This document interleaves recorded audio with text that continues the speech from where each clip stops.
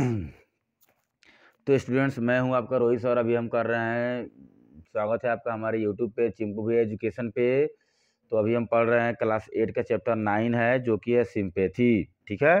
Sympathy का मतलब होता है अच्छा रिएक्ट करना किसी को अच्छे से सहानुभूति देना। तो हम सिंपेथी जानते हैं टू हेल्प समवन ठीक है? तो आउटलाइन देखते हैं। इफ़ इट इज़ हैपन मान लो अगर ऐसा आपके साथ हो गया कि आप बहुत ज़्यादा सीरियस ट्रबल में आ गए तो what would you expect as a help आप किसी से हेल्प के रूप में क्या चाहोगे? ठीक है? पहला चार लाइन देखते हैं। आई ले इन सोरो इन डीप डिस्ट्रेस मैं काफ़ी ज़्यादा दुखी था, काफ़ी डिस्ट्रेस था, काफ़ी तकलीफ़ में था। My grief a proud man here मेरा जो दुख जो है, दर्द जो है, एक प्राउड मैन प्राउड मैन ये दिमाग में रखिएगा स्टूडेंट्स रिच मैन क्या कर सकते हैं हम? रिच मैन जो है, उसी को हम प्राउड मैन बोल सकते हैं। तो एक रिच मैन या प्राउड मैन जो है, उसे सुनता है। हिज लुक्स वेयर कोल्ड, वो देखने में काफ़ी कूल्ड दिख रहा था मतलब कूल दिख रहा था अच्छा दिख रहा था। ही गेव मी गोल्ड उसने मुझे गोल्ड दिया but not a kindly word उसने मुझे गोल्ड दिया बट उसने मुझे कुछ काइंडली मतलब मुझे सिंपेथी नहीं दिखाया। जैसे कि काइंडली वर्ड का मतलब हुआ कि सपोर्ट करना, साथ में बैठकर कुछ बातें करना या दुख को, उसने मेरे दुख को बांटा नहीं। मुझसे कुछ बातें नहीं किया, बस उसने मुझे गोल्ड दिया और वो चला गया। माई सोरो पास्ट सिंपल सी बात है गोल्ड मिलेगा तो दुख तो खत्म हो जाएगी। आई पेड हिम बैक फिर दोबारा उसने क्या कर दिया?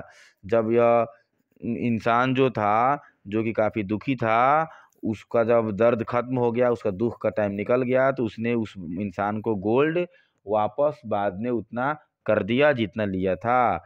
Then stood erect and spoke my thanks and blessed his charity उसे मैंने गोल्ड दिया, उसे थैंक्स बोला और चैरिटी मतलब दान देने के लिए या मुझसे मेरे ऊपर दया दिखाने के लिए उसे मैंने शुक्रिया किया और आगे चला गया, ठीक है?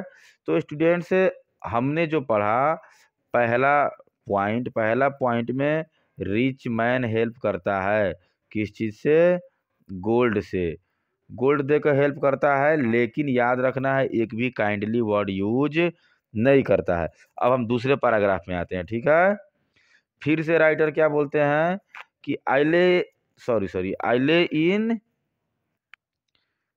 फिर से राइटर बोलते हैं I lay in want and grief and pain एक बार फिर से राइटर की स्थिति खराब होता है, वो फिर से वो क्या होते हैं? पेन में दर्द में होते हैं। चैल्स मैकाय जो है, इसके राइटर है, जहाँ भी आई का यूज़ हो रहा है चैल्स मैकाय खुद बोल रहे हैं। तो इस बार क्या है? एक रिच मैन ना होकर एक पुअर मैन, और poor man passed my way इनके तरफ़ से एक पुअर मैन जा रहा होता है, वो देखता है।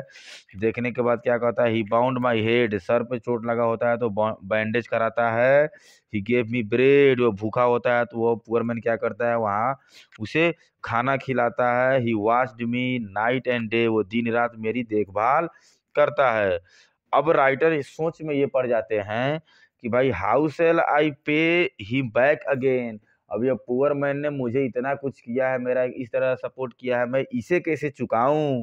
For all he did to me इसने मेरे साथ जिस तरह से रिएक्ट किया, जिस तरह से मेरा हेल्प किया है, ओह गोल्ड इज़ ग्रेट तब जाकर राइटो को रियलाइज़ होता है कि पहले रिच मैन ने जो गोल्ड दिया था, उसे तो मैंने इजली रिप्लेस कर दिया था, दे दिया था।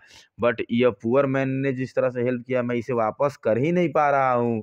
तब वो उसे रियलाइज़ होता है कि गोल्ड मान लेते हैं ग्रेट होगा। मान लिए बहुत महँगा होगा, बहुत अच्छा होगा, बहुत बढ़िया होगा।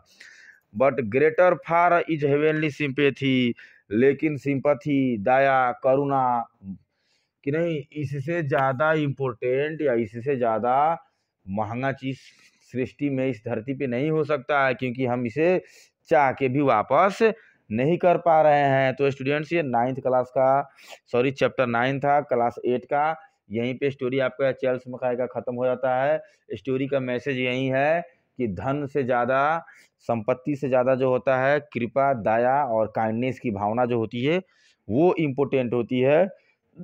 वो आप भी अपने लाइफ में इस तरह का रिएक्ट बना के रखिएगा, दोस्तों को, लोगों को जो है, रुपये से नहीं तोलिएगा, जितना हो सके उतना हेल्प करिएगा और स्टूडेंट्स कोई सजेशन हो तो सजेशन दीजिएगा कमेंट में मुझे और प्लीज़ हमारे चैनल चिंपू भैया एजुकेशन को ज़्यादा से ज़्यादा सपोर्ट कीजिए ताकि हम वीडियो और जल्द अपडेट कर सकें। अगर किन्हीं को, किसी भी बच्चे को या किसी भी स्टूडेंट्स को या जो भी इस वीडियो को देख रहे हैं, उन्हें किसी भी प्रकार का प्रॉब्लम हो तो प्लीज़ कमेंट में डालें किसी भी तरह क्वेश्चन आंसर नहीं समझ में आ रहा हो तो प्लीज़ कमेंट सेक्शन में डाल दीजिएगा मैं, उस पर वीडियो बनाकर आपको फिर से दे दूँगा। तब तक के लिए धन्यवाद।